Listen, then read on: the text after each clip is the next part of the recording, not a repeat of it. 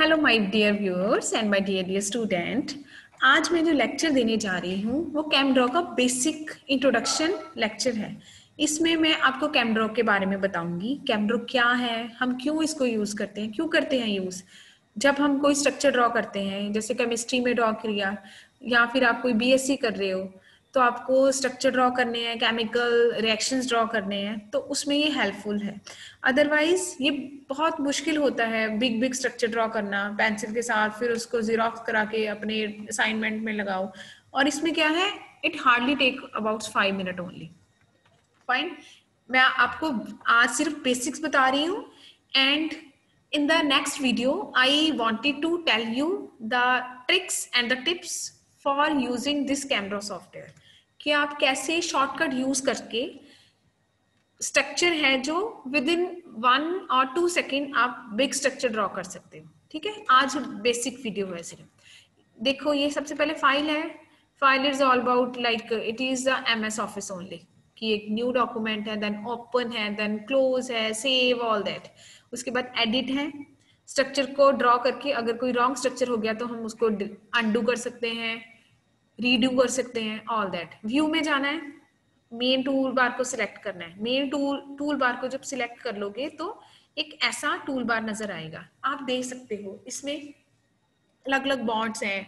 जैसे single bond है then double bond है देन डैश बोर्ड बॉन्ड है। अगर आप स्टीरियो केमिस्ट्री आपने पढ़ी हो तो आपको पता होगा कभी कभार हमें अलग स्ट्रक्चर ड्रॉ करने होते हैं। जैसे हम थ्री स्ट्रक्चर ड्रॉ करते हैं। उसमें जैसे अगर ये सॉलिड लाइन है तो इसका मतलब क्या है? वो विद इन अ प्लेन है, जो उसका एटम है।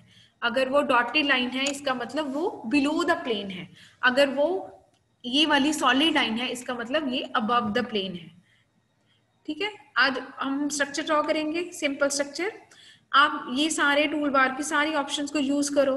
अगर आपको कोई प्रॉब्लम होगी तो प्लीज़ कमेंट करो कमेंट बॉक्स में। मैं उसको डिस्क्राइब करूँगी इन डिटेल आज मैं सिर्फ़ बेसिक्स बता रही हूँ। हमें स्ट्रक्चर कैसे ड्रॉ करना है? जैसे मैं साइक्लोहेक्सिन रिंग ले रही हूँ, ठीक है? मैंने ये रिंग ड्रॉ करी। उसके बाद मैंने कोई एटम लगाना है, यहाँ पे मैंने नाइट्रोजन लगा दिया। और मैंने जल्दी में, जैसे बच्चे भी करते हैं वैलेंसी पूरी नहीं की। ये कैसे यूज़र फ्रेंडली सॉफ्टवेयर है? अगर मैंने जल्दी जल्दी में कोई एटम ड्रॉ किया और उसकी वैलेंसी नहीं पूरी हुई तो ये जो सॉफ्टवेयर है, उसको रेड मार्क में हाईलाइट कर देगा। रेड अगर ऐसी डॉटेड लाइन आ जाए रेड इसका मतलब क्या है? ये स्ट्रक्चर रॉन्ग है। तो हमको इसकी वैलेंसी को पूरी करना होगा। वैलेंसी को हम नॉर्मली कैसे पूरी करते हैं? हम क्या? हाइड्रोजन ऐड कर देते हैं। देखो हाइड्रोजन ऐड हो गया, ये स्ट्रक्चर सही हो गया। ठीक है? उसके बाद अगर हम स्ट्रक्चर ड्रॉ हमने कर लिया, अब अब अब अब हमें फिर भी डाउट है कि ये स्ट्रक्चर शायद ये गलत है तो हम क्या करेंगे? इसको सिलेक्ट करेंगे, फिर स्ट्रक्चर के ऑप्शन में जाएँगे। यहाँ पे ऑप्शन है क्लीन अप स्ट्रक्चर इसको क्लीन अप करना है, ये क्लीन अप हो गया। क्लीन अप मतलब अगर सपोज़ मैंने कोई बिग स्ट्रक्चर बनाया, उसके बाद वो अनइवन स्ट्रक्चर उसके जो एटम है, वो अटैच हो गए। जो मैंने क्लीन अप किया, वो अपने आप यूनिफॉर्मली अलाइंड हो गया। मैं अभी आपको एग्ज़ाम्पल बताती हूँ। जैसे मैंने इसके साथ ये रिंग लगा दी। ठीक है, ये मैंने अटैच कर दी। ये तो रॉन्गली हो गया। यहाँ पे लगाती हूँ। ठीक है? अब देखो, ये फिर हाईलाइट हो गया। इसका मतलब क्या है? ये इसकी वैलेंसी फिर नहीं फुलफिल हुई। ये रॉन्ग हो गया। इसको ऐसे करते हैं। नाउ इट इज़ फाइन उसके बाद मैं इस पे बॉन्ड लगाती हूँ। यहाँ पे लगा दिया। फिर मैंने बेंजिंग रिंग ली। उसके बाद यहाँ पे कोई भी हेलोजन लगा दिया क्लोरीन आप कोई भी कमेंट बॉक्स में टाइप करो, मैं उस स्ट्रक्चर को ड्रॉ करूँगी, ठीक है? अब देखो, ये अनइवन स्ट्रक्चर है। यहाँ पे फिर हाईलाइट हो गया, इसका मतलब ये, जो इसकी वैलेंसी है फुलफिल नहीं हो रही, ठीक है? Again it is highlighted delete now ठीक है? ये स्ट्रक्चर कैसा है? अच्छा नहीं लग रहा। अगर हमने ये सेम स्ट्रक्चर किसी बुक में देना है तो हम इसको कैसे करेंगे? इसको सिलेक्ट करेंगे। सिलेक्ट कैसे करना है? नॉर्मली क्या? कंट्रोल बटन को प्रेस करना है कीबोर्ड में और ए को करना है। दोनों को प्रेस किया स्ट्रक्चर में गए क्लीन अप स्ट्रक्चर किया। ठीक है? ये ऐसे हो गया। Now you can see the difference this is the after the clean up structure ये जो हम क्लीन अप किया, उसके बाद का स्ट्रक्चर है, पहले का ये था। अब आप खुद देखो कौन सा अच्छा लग रहा है।